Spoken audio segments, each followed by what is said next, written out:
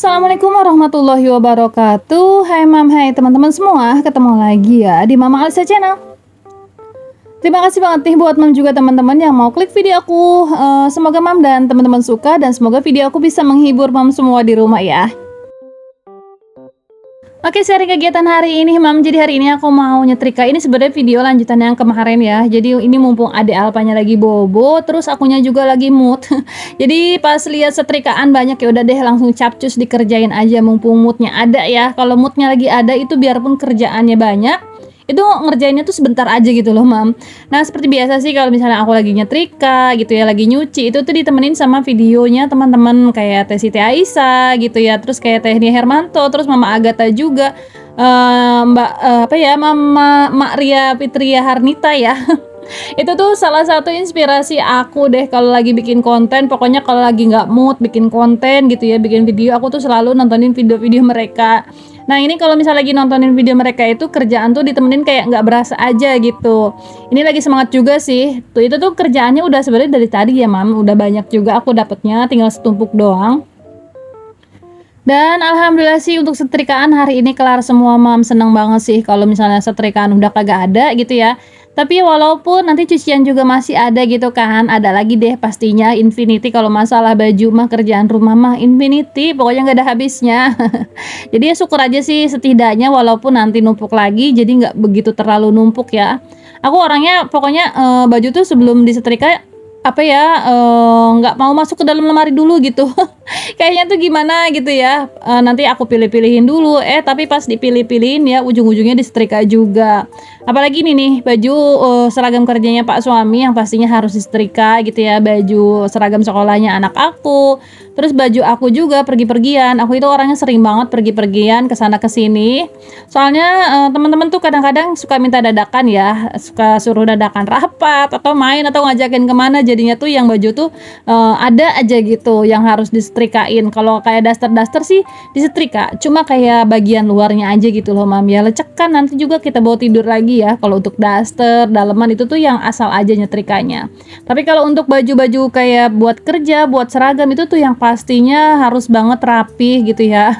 Garis-garisnya pun uh, kalau bisa satu garis nggak tahu deh pokoknya dari kecil aku diajarinya gitu sama emak jadi ya terbiasa aja sih mam. Jadi uh, baju tuh yang belum disetrika belum aku uh, belum bisa aku masukin ke dalam lemari gitu deh Nah kayak gini aja terus ya mam. Uh, Kalau setrikaannya udah selesai baru selesai juga nonton HP-nya Nah ini pas lagi uh, nyetrika. Ini udah sore banget sebenarnya Tapi cuacanya di HP aku itu masih terang. Tapi ini udah sore banget hampir mau maghrib gitu. Abang paket tadi nganterin paket mainan gitu mam dan singkat ke pagi harinya aja langsung ya mam. Karena pakaian itu udah aku beres-beresinnya juga pas malam-malam Jadi nggak aku videoin ya biar cepet aja. Kalau di video ini tuh kan harus pakai uh, macem-macem ya. Jadinya tuh yang aku langsung skip aja ke pagi harinya.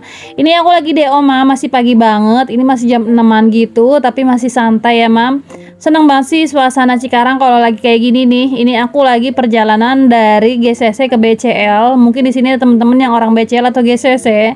Jadi biasanya aku kalau misalnya dari GCC ke BCL itu lewat-lewat sawah kayak gini, Mam.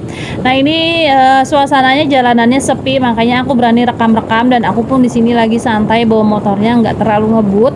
Biasanya kalau misalnya aku lagi DO-nya ngebut itu uh, boro-boro pegang HP kayak gini ya. Jadinya tuh yang bener-bener uh, apa sih bawa motornya itu yang kencang harus fokus juga gitu. Karena ini emang lagi sepi jadi aku uh, sekalian aja deh bikin video. Ini tuh sejuk banget emang karena masih pagi Oke disingkat lagi mam. Proses dagangnya nggak aku videoin karena tadi juga diburu-buru sebenarnya. Jadi langsung aja ya ke video di rumah. Ini aku mau masak-masak hari ini. Masaknya yang simpel-simpel aja. Hari ini mau masak oseng-oseng lagi. Ini masak favoritnya anak aku. Masaknya simple aja deh hari ini. Aku ada toge ada selada. Untuk nanti lauknya aku mau bikin dadar telur aja pakai mie jadi masih alhamdulillah sih hari ini aku bisa masak itu ya. Yang simple-simple aja. Ini favoritnya kakak Alesa untuk toge. Nanti pakai saus tiram. Terus bikin dadar telur yang tebel pakai mie gitu. Nah untuk lalapannya itu itu ada selada ya mam. Untuk sambalnya aku pakai yang sasetan aja deh biar simple biar nggak ngotor-ngotorin tempat langsung aja nih aku udah masakin si minyaknya. Jadi ditunggu panas dulu baru nanti aku oseng-oseng. Dan biar cepet juga ini yang sebelahnya untuk ngerebus mie ya. Jadi aku langsung aja ngerebus mie di tempat kayak gini. Nanti ngocok telurnya juga di tempat itu juga jadi yang nggak terlalu banyak tempat. Oke untuk si tumis togenya di sini aku pakai bawang merah bawang putih aja seperti biasa bumbu hari-hari ya. Bumbu yang paling simple mudah-mudahan sih aku bisa konsisten masak sih. Tapi ya gitu deh. Kadang-kadang moodnya suka hilang-hilangan mam. Mood masaknya itu apalagi kalau kerjanya lagi banyak ya. Apalagi kalau bisa lagi nyetrika itu biasanya aku nggak masak gitu ya. Biasanya aku nyetrika dicampur sama nyuci gitu. Jadi untuk masak aku beli gitu. Terus kalau misalnya lagi masak ya itu kerjaannya yang lainnya santai gitu. Jadinya tuh yang aku bisa masak. Nah ini kayak gini ya mam. Aku lagi bikin toge ini togenya tadi beli 5000 banyak banget. Tapi nanti di bakalan jadi kempes gitu. Jadinya paling satu mangkokan gitu mam Jangan lupa ini pakai saus tiram yang bikin masakan apa pun jadi enak itu sih saus tiramnya. Nanti tinggal tambahin uh, kaldu jamur aja sedikit. Terus tambahin garam sedikit, lada sedikit. Jadinya tuh yang menurut aku ya enak aja walaupun masakan biasa kalau udah pakai saus tiram ya enak-enak aja, Mam.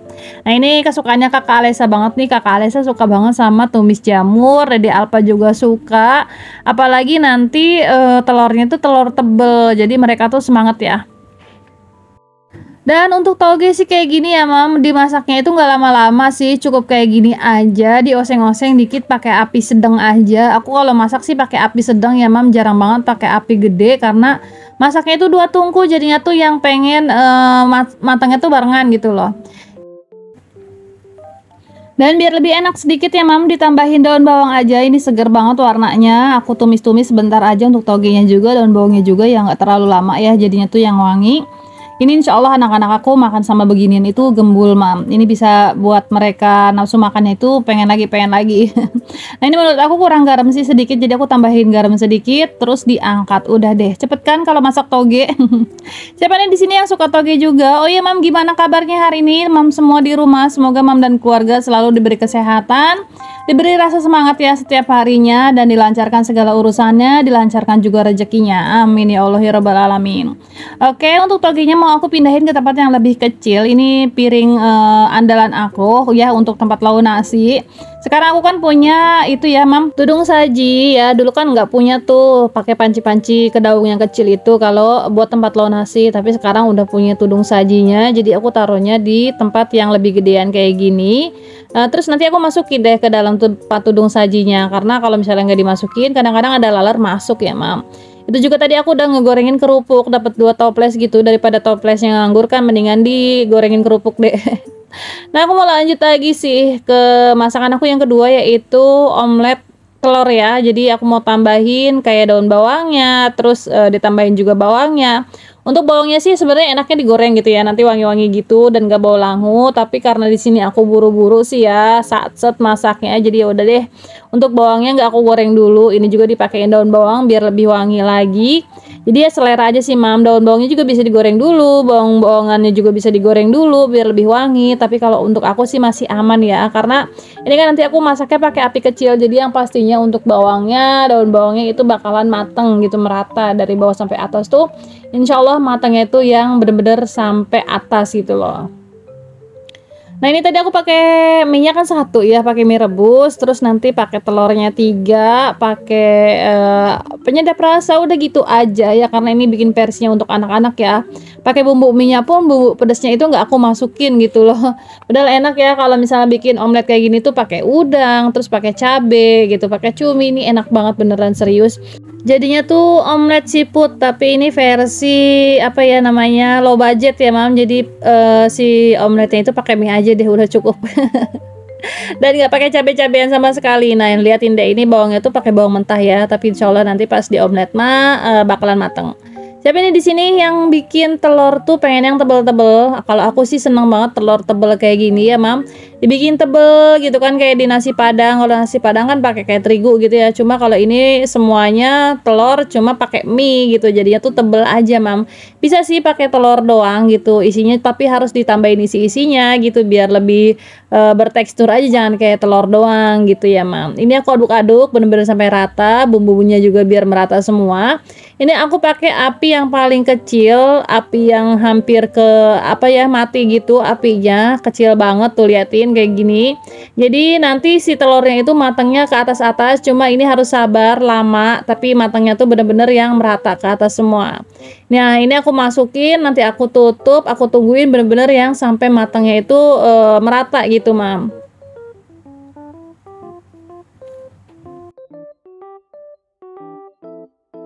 Dan setelah masuk semua, jangan lupa ditutup ya mam. Karena kalau misalnya ditutup kayak gini, itu bakalan apa sih hawa panasnya itu ke bawah-bawah gitu ya. Jadinya tuh yang mateng merata.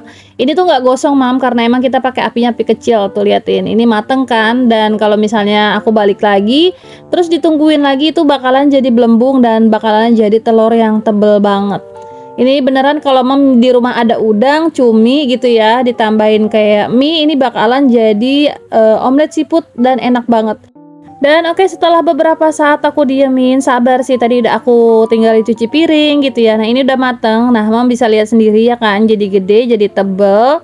Nah ini juga aku udah punya sambalnya Sambal ulek yang udah jadi aja. Aku masukin di toples Aku taruh sini. Nanti pak suami sama anak-anak makan tinggal ambil aja. Pastinya anak-anak itu nggak bakalan doyan sambal ya Karena uh, apa sih namanya Ya emang mereka tuh belum begitu doyan banget sama yang pedas-pedas Nah ini aku mau bagi rata dulu Untuk telurnya aku belah empat aja. Ini cukup ya untuk kita berempat. Jadi aku Dede Alpa ayahnya kakak Alesa.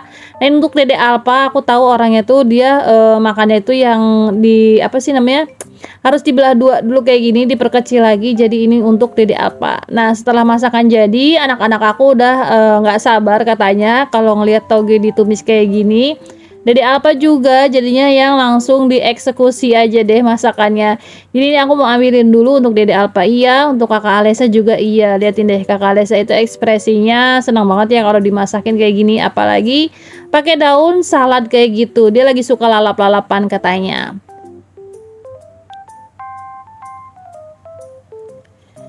Nah ini dia mam, anak-anak aku kalau misalnya lagi makan biasanya dede apa aku kasih meja aja terus makan sendiri. Aku tinggal beres-beres biasanya dia makan sendiri ya. Tapi kali ini katanya pengen disuapin sama mama jadi ya aku suapin aja deh. Ini sebenarnya Dede Alpa makannya banyak ya, cuma tadi aku lupa dan di pertengahan makan aku baru inget kenapa nggak di videoin gitu ya. Tuh liatin Kak Alisa lagi anteng makan sendiri, Dede Alpa juga makannya sambil nonton HP. Ini karena aku suapin aja. Kalau misalnya dia makan sendiri itu biasanya dia fokus makan ya. Dede Alpa itu makannya anaknya banyak ya, Mam. Alhamdulillah satu kali makan itu bisa aku sendokin 2 sampai 3 centong gitu. Dan dalam satu hari dia tuh bisa makan pagi, siang, sore kalau misalnya malam lapar ya makan lagi. Pokoknya aku tuh yang namanya lauk nasi itu jarang banget nggak ada di dapur. Harus banget karena tahu anak-anak aku itu orangnya pada lapar-laparan ya. Jadi nggak usah pusing-pusing mikirin uh, susah makan. Anak-anak aku tuh jadi aku tuh yang pusingnya itu masak apa ya besok masak apa biar anak-anak aku tuh suka. Ya gitu kalau aku mah. Alhamdulillah ya mam. Nah ini dede Alpa itu bakalan habis sih makannya cuma ya udah deh sampai sini aja. Terima kasih banget ya buat teman-teman yang udah nemenin aku dari awal sampai sampai akhir video. Semoga teman-teman gak pernah bosan sama video aku. Semoga video aku bisa menghibur teman-teman semua di rumah. Semoga bisa nambahin moodnya teman-teman untuk masak, terus beres-beres ya. Semoga uh, gak pernah bosan deh. Dan salam kenal buat teman-teman yang baru mampir di channel aku. Terima kasih aku ucapkan. Salam kenal dari Mama Alesa. Uh, ikutin terus Mama Alesa ya. Jangan lupa bantu Mama Alesa dengan klik tombol subscribe-nya. Jangan lupa like dan jangan lupa nyalakan juga lonceng notifikasinya. Biar kita tambah akrab ya Mam dan teman-teman dan sampai di sini aja. Assalamualaikum warahmatullahi wabarakatuh. See you my next video. Bye bye dan assalamualaikum.